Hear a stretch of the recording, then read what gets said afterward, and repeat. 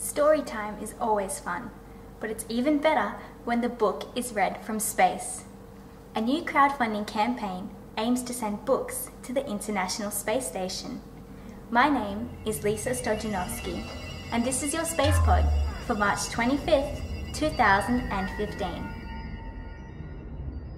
The idea of sending children's books to the International Space Station began in 2011 when astronaut Alvin Drew read the book Max Goes to the Moon above Space Shuttle Discovery.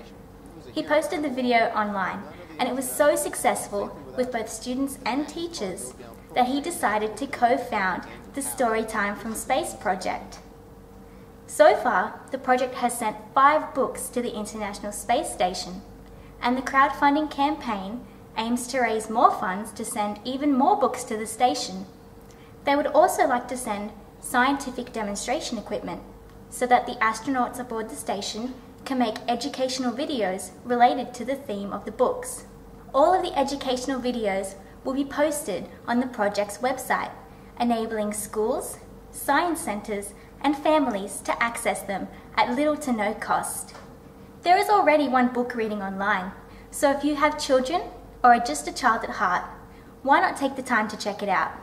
You'll find it at storytimefromspace.com. Hopefully, these videos can inspire the younger generation to take an interest in space, crucial in today's world where children are less likely to pursue STEM careers, that is, science, technology, engineering and mathematics, than ever before. Check out this Indiegogo campaign that supports a cause that is close to my heart the inspiration of our younger generation. If you know about any other space-related crowdfunding campaigns that you think are cool, please, I'd love to hear about them. Leave a comment below or let us know on any of your favorite social media platforms. There are also some cool perks for people that choose to contribute to this campaign, including t-shirts and copies of the book Max Goes to the International Space Station, signed by both the author and astronauts. The campaign is looking for $55,000 and finishes on April 25th. Thank you for watching, and remember, this is a crowd-funded show. I'd like to thank everybody who helped us to bring you this space pod today. If you would like more information about how you could contribute to helping us bring you these videos, head over to patreon.com slash TMRO.